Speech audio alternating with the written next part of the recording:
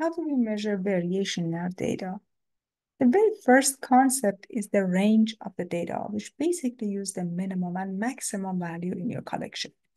The range of the data is maximum value minus the minimum value. For example, two corporations each hired 10 interns, and the starting salary for corporation A is given to you. I want to know what is the range for these salaries. We're going to arrange the data to find the minimum and the maximum salaries. Then following the formula for the range, the maximum salary, which is $47,000, minus the minimum salary, which is $37,000, gives you 10. So the range of the salaries is $10,000.